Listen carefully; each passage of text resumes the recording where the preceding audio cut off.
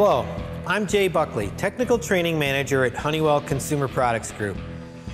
Welcome to Module 6 of the Autolite Challenge Professional Technician Program. This module explains how to begin troubleshooting engine misfire codes. We'll cover what the term misfire means, why it's important to understand, and how to begin your troubleshooting routine. Maintaining a healthy ignition and fuel system is important to preventing misfires. A misfire is defined as the lack of or loss of combustion in a cylinder. When an ignition misfire occurs, raw fuel and excess oxygen are dumped into the exhaust system and catalytic converter. The converter runs very hot, causing the fuel to burn inside the converter rather than in the combustion chamber. The converter temperature can rise to a dangerous level and elevate hydrocarbon emissions output. The situation goes downhill from there. The oxygen sensor will detect excess amounts of unburned fuel in the exhaust. The excess oxygen that was not used during the combustion process results in rapid switching of the O2 sensor and a potential loss of fuel trim control. In the past, it was sometimes assumed that this sequence of events would cause the powertrain control module, or PCM, to increase the fuel injector pulse. This would lead to even more fuel releasing into the exhaust because the PCM determined the system was running lean. In fact, what happens isn't consistent from one firing event to another, let alone from one car to the next.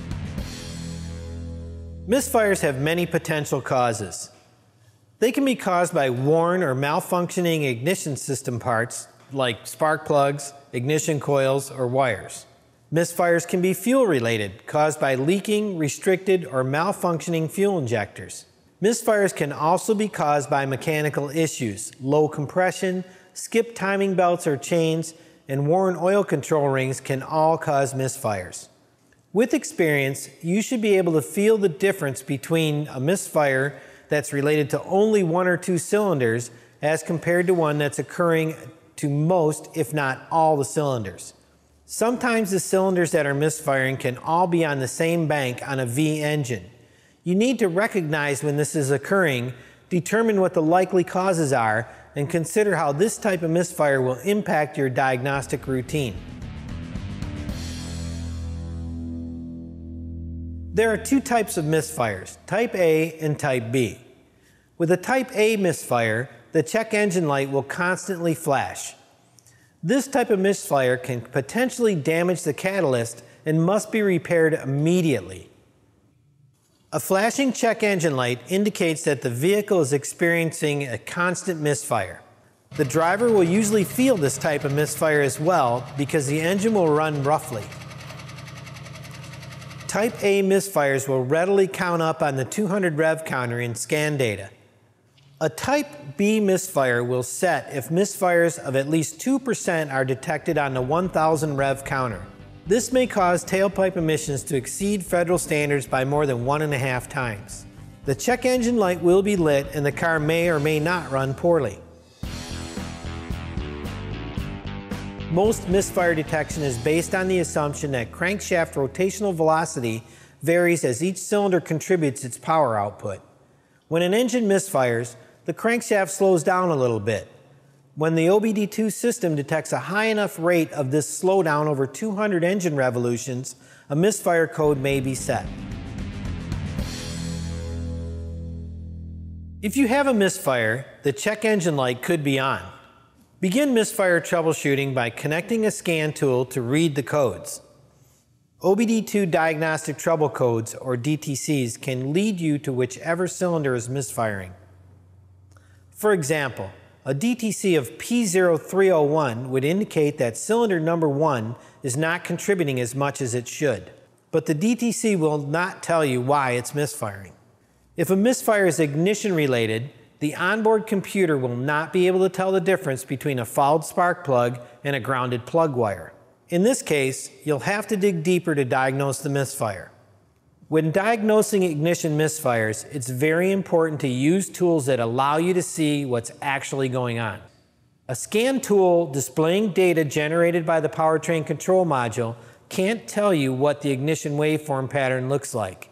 It can only show you that the powertrain control module has detected a slowdown on a particular cylinder or on multiple cylinders. A random misfire DTC such as P0300 shows that the misfire is random and moving from cylinder to cylinder or that multiple cylinders are experiencing a misfire issue. This type of misfire can be caused by a lean condition at idle. It may be caused by a vacuum leak, clogged fuel injectors, or a leaking EGR valve. Once you pull the codes from the powertrain control module, remember to freeze frame and record the engine operating conditions that the system stored when the misfire codes were set. A good diagnostic routine requires attention to every detail. Solving a misfire that is evident right now because of a vacuum leak, but missing that the powertrain control module actually coded for a misfire that was occurring on the highway could lead to a disappointed customer. If the random misfire code is accompanied by a DTC of P0171, indicating a possible lean cylinder bank 1, or P0174, indicating a possible lean cylinder bank 2, it will help to confirm under what operating conditions the lean engine code set. You may need to see if the lean condition is more prevalent to one side of the engine or the other. Is the other side trending rich while the side with the misfire is going lean? What does it really mean if long-term trims show significant bank-to-bank fuel correction? Do you have a cam out of time or a restricted exhaust on one side? Remember, before proceeding any further, you must find and correct all diagnostic trouble codes by following OE recommended troubleshooting instructions. You'll find these instructions in the OE repair manual for the vehicle you're working on. Sometimes a rough road will cause torque to be applied to the drivetrain, resulting in false misfire codes. Many powertrain control modules will use input from the ABS wheel speed sensors to tell the PCM the vehicle's on a rough road and then ignore the misfire codes. Ignition-related misfires are very common. Start by measuring secondary voltage and spark duration if possible. In a coil on plug system, use a low amp current probe to measure the coil's current draw and inspect the on slope and oscillations at turn on. Using a low amp current probe can be really helpful when you're dealing with one of today's newer engines where access to the spark plugs can require a lot of removal and replacement of engine components and covers. Once you remove the spark plug from the cylinder that's misfiring, how does it look? You have to remember, as the spark plug gap opens up from wear, the voltage required to fire the spark plug will also rise. When this rise in required voltage exceeds the coil's maximum output, a misfire can occur. The misfire could be related to weak spark plug boot insulation and carbon tracking. A lean injector can cause secondary voltage demand decline and can lead to breakdown of the insulation and secondary components. You should always use a platinum or iridium fine wire spark plug in modern conventional or coil-on plug ignitions. An Autolite double platinum spark plug or an iridium enhanced Autolite XP spark plug should be used in DIS ignitions. While it may seem like a bargain to use a copper core spark plug in a modern ignition system, it really isn't. A copper core plug will experience considerable gap erosion in as little as 18 to 30,000 miles. When the gap opens up to the point where the coil can no longer generate enough voltage to fire it, a misfire occurs.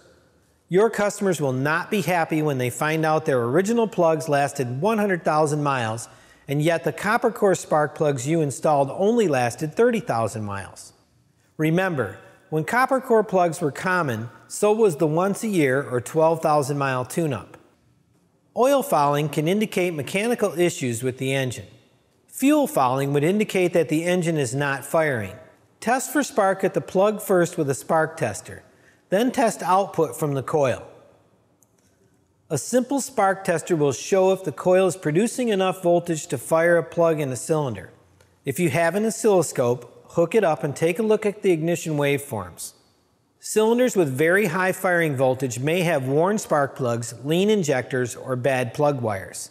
Cylinders with low firing voltages could have a fouled spark plug, carbon tracked insulators and plug boots, or little to no compression in the cylinder.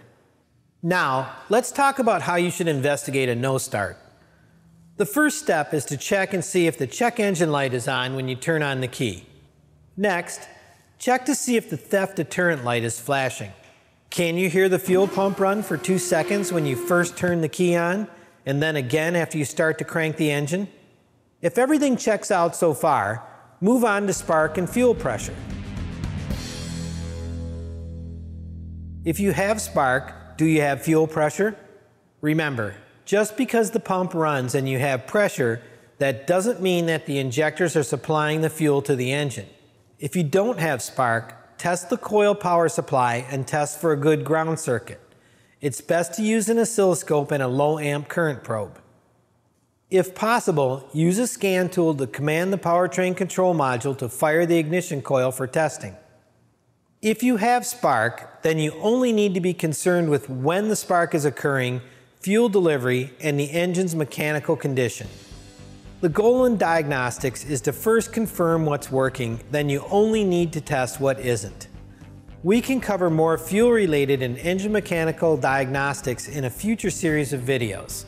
For now, let's go back and talk about testing for misfires when the engine is running. Begin by checking both the static and running fuel pressure and compare them to published specifications.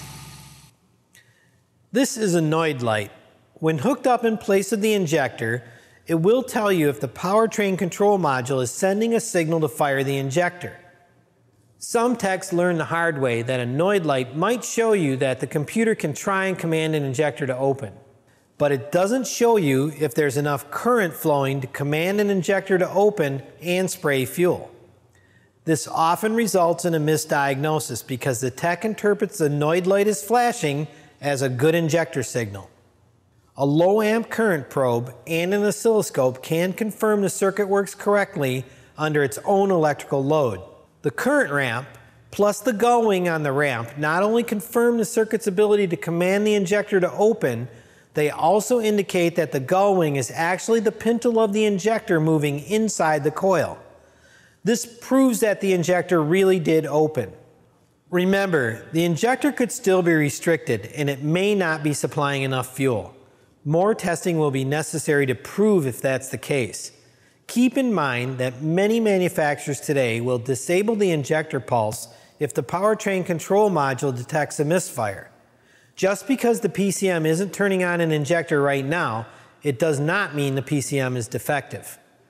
Shutting the engine off and then restarting it may result in the powertrain control module firing the injector again until the PCM detects a misfire and turns it back off. There are many potential mechanical causes of misfires. Start by checking engine compression on the offending cylinder. This can be done with a big box analyzer or an oscilloscope and a high amp probe. If these diagnostic tools are not available, Start your normal compression testing on just the cylinder that you detected the misfire on. Record the cranking compression reading. Then start the engine, bleed off the pressure in the gauge, and re-record the compression at idle. It should be 50% of the cranking compression. Now raise the engine off of idle to 2500 RPM and bleed the gauge again. The compression should still be very close to 50% of the cranking measurement. If the cranking compression is low and the running compression is higher than 50%, worn piston rings or a leaking valve are likely causes.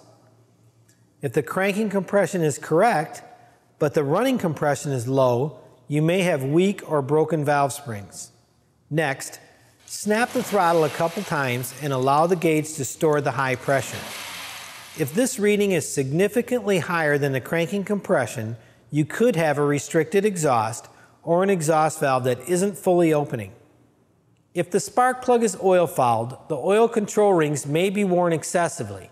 The engine will then require internal mechanical repair. These are generalized instructions.